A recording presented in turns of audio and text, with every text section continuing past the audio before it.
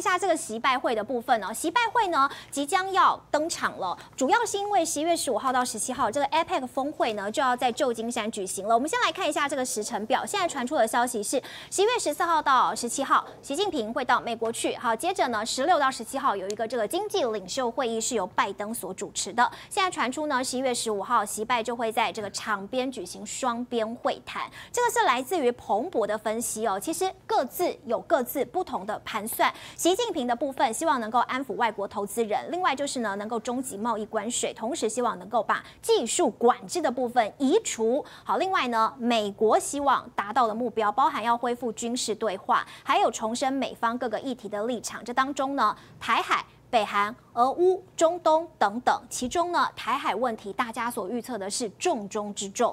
另外呢，要施压提高度透明，包含了经济治理跟“一带一路”等等。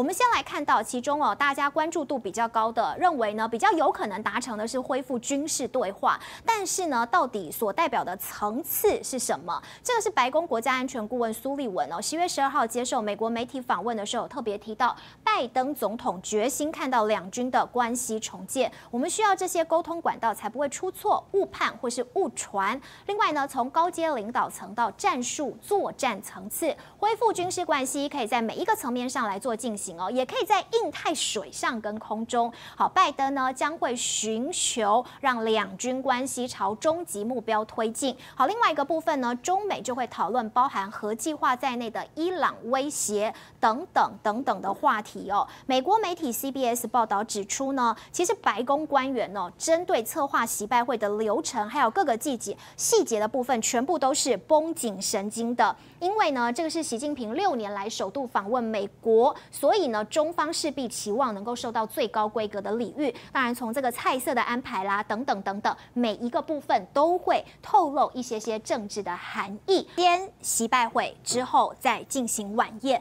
好，另外呢，我们进一步再来看到哦，这个是巴荣金融周刊分析哦，他们认为说习拜会顶多只能够安抚一下投资人，难以带给市场激情哦，因为只能够让美中关系回到重启对话、避免冲突的原点。同时，外媒也引述消息人士。是指出，传中国考虑在 iPad 峰会期间公开对波音的承诺，要恢复采购737 MAX 机型。另外一个部分呢，大家也在观察，中国驻美国大使馆有特别提到，十一月二十七号开始，国航复航华盛顿航线，十一月三十号开始要增加洛杉矶的航线。我想问一下，这个苑老师，你对于拜习会，你期待吗？你怎么样看？看得出来，其实双方各自有各自的盘算，你觉得能够达到什么样实质的成果吗？我觉得拜习会对我们台湾是太重要了，嗯，啊，因为他们要重启军事对话，稍微让大家回味一下这一段时间，这个拜登跟习近平多久没见面了？就大家记不记得那个气球事件？就是来自于这个巴厘岛见过一面以后的话呢，基本上的话呢，他们要朝向旧金山嘛，然后的话呢，彼此之间的放话，我普遍得到了印象当中啊，是美国非常期待能够见。到习近平，甚至于拜登总统的话来，认为说是习外会对他来讲的话有三方面的意义。第一个就是选举，第二个美国有实质上的议题，然后第三个的话呢，就是说美国跟大陆的军事原来在佩洛西。串访台湾之前是有固定的军事交流，大家彼此相互了解。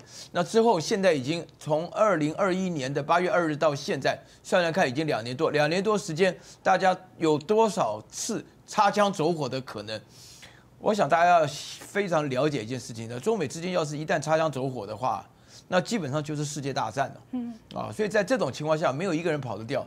那目前为止的话呢，我不晓得你这个消息是哪来的，得到的消息完全是站在美国的角度所写的。嗯，啊，其实实际上的话呢。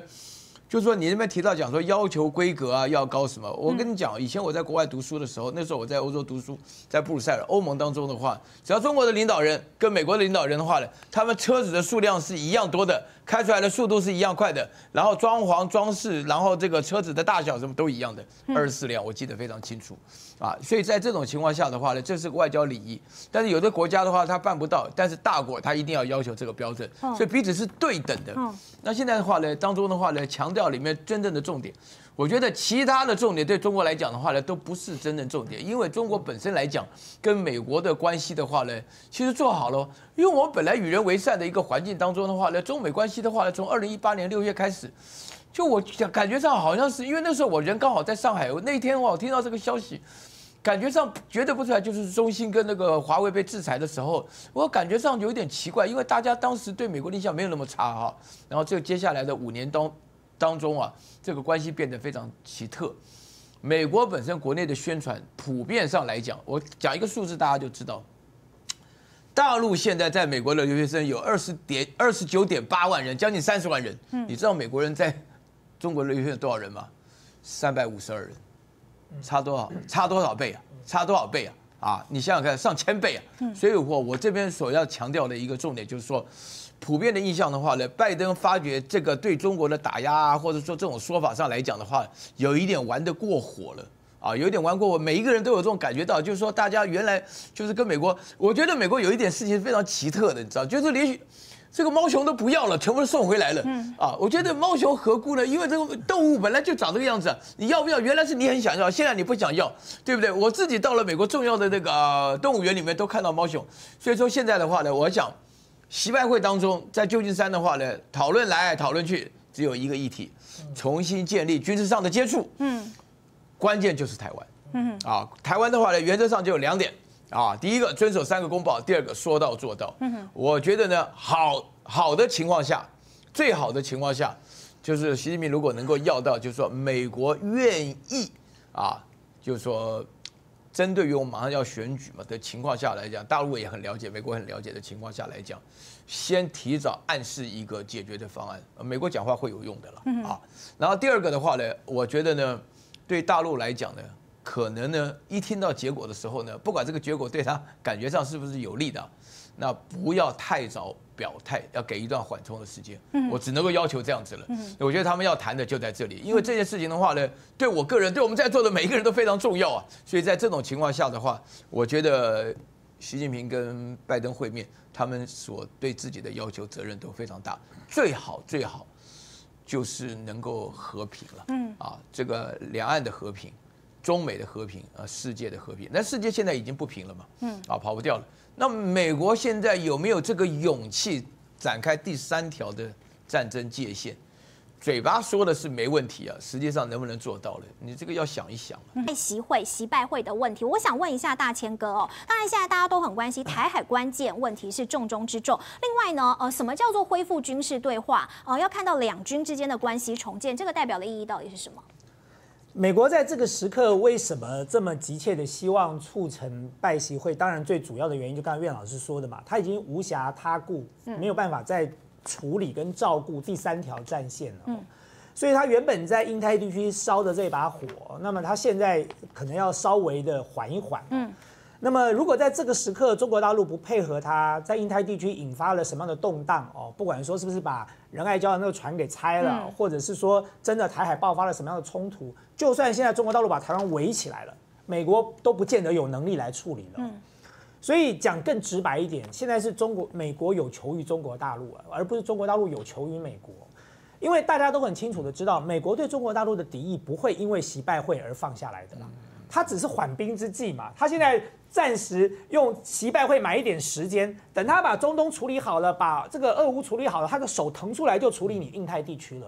中国大陆不会不清楚的，所以今天除非美国做出某种程度的让步，嗯，就像刚才岳老师说的，在核心问题上，台湾问题，你要你要做什么样的让步嘛？对，不管是公开或者是私下，哦，到底要做什么样的承诺？那否则说这个习近平没什么必要千里迢迢的。跑到你这个美国的主场去哦，然后还可能会冒着这个被羞辱的问题，还有人来抗议哦，搞不好还有人身的安全呢。嗯，这个现在在美国总统被暗杀多的是，你说习近平跑到那里去有这个必要吗？嗯，所以除非今天他们私下达成了某种程度的这个妥协跟承诺，所以习近平其实没必要跑这么远哦。嗯，那么这有就可以解释到为什么苏利文一直希望建立两军对话管道嘛，因为他怕擦枪走火，他怕有意外。而且这个时候有意外的时候，讲难听点，美国也救不了任何人啦。嗯，所以最好他这个时候先把中国大陆按耐好啊，这个时候你先别动啊。等老大哥腾出手来，有能力对付你的时候，咱们再来决一死战。但这个时候你就先别动了。嗯，所以其实习拜会讲到最后，关键问题就在这里了。那你说，当然这些旁边的小菜哦，你有没有可能什么科技围堵放松啦？有没有可能有按外包的政策改变哦？嗯，有没有可能在这个这个地缘政治上的布局做一些调整？嗯，嘴巴上可能会讲了哦，但是实际上我认为要看到的可能性并不高哦。如果真的够高，你说 NVIDIA 辉达就没必要自己还要去创出三个这个 AI 晶片来去绕过美国的一些这个规范或者是美国的限制了。所以其实这一次的习拜会，我觉得大家要关注的就是到底美中之间对台湾问题达成了什么样的默契，这是值得我们要观察。那包含这个中国现在考虑在峰会期间公开对波音的承诺，要恢复采购这个部分，你觉得算是一个善意吗？如果今天美国在刚才岳老师讲核心问题上做出了让中国大陆满意跟接受的承诺的话，买个飞机这算什么呢？哈，就是买点大豆，买点飞机。开几条航线，这是小事情啊。那么关键问题是在于说，你美国到底要做什么让步嘛？所以我也是很好奇的，等着看到底习拜会，你千里迢迢的把习近平请到了。旧金山冒了各式各样的这个风险，到了那里去之后，你到底要给他什么承诺？嗯，太阳星全效克菲尔益生菌，我吃了两三天，最明显的感觉是睡眠品质竟然变好了。睡得好，让我整个人工作更专注，心情也变得更稳定更好。因为太阳星全效克菲尔益生菌，才让我认识到克菲尔益生菌，它是由多支菌种的益生菌所组合而成，不仅能够维护消化道机能正常运作，还拥有多种有益健康的保健功能，相当强大。你知道吗？有台大教授专门研究它，称它是神仙的礼物。上千篇的国际研究证实，克菲尔益生菌不仅帮助肠道健康，肠道菌透过肠脑轴影响全身器官，所以维持肠道菌丛的平衡是解锁身体健康、精神健康的钥匙。对帮助睡眠、维持好情绪真的很有感。也因为这不是药，有季节敏感、代谢困扰。关心恶性细胞风险的好朋友，选择太阳型全效克菲尔益生菌，做好日常的保养，身体健康没负担。